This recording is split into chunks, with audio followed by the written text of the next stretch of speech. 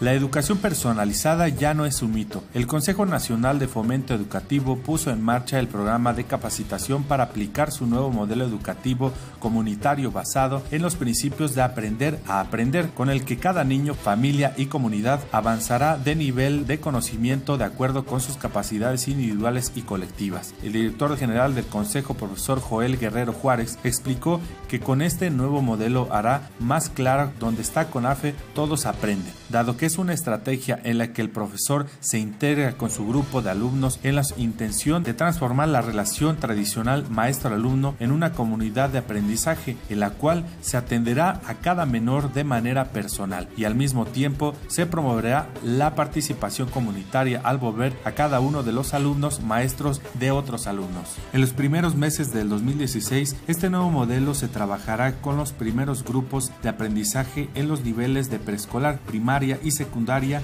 en seis estados pilotos, Chihuahua, Chiapas, Oaxaca, Puebla, San Luis Potosí y Veracruz, por lo que casi medio millón de estudiantes del CONAFE de dichos estados estarán integrados al nuevo programa de ACON antes de concluir el ciclo escolar 2015-2016.